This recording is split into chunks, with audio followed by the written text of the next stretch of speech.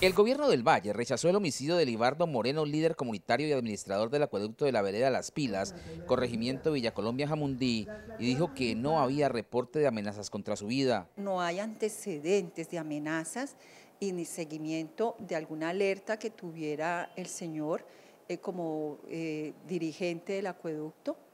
Eh, en cuanto a su vida o, o en cuanto a amenazas que hubiera tenido con anterioridad.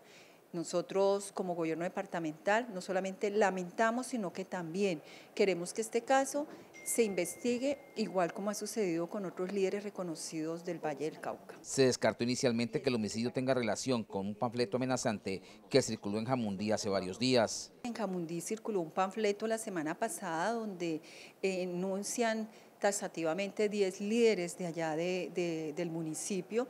Eh, precisamente nuestra gobernadora está haciendo un llamado a la Unidad Nacional de Protección con el fin de que se revise las medidas que se tienen que tomar frente a hechos sobrevinientes de algunos líderes que han tenido ya amenazas y de otros que apenas aparecen en estos panfletos. Es muy importante aclarar la autenticidad de los panfletos. El gobierno del Valle pondrá en conocimiento este caso y la situación de amenazas y muerte de líderes en el departamento ante el director nacional de la Unidad Nacional de Protección, Diego Fernando Mora, en Cali, para fortalecer las medidas y planes de protección puestos en marcha.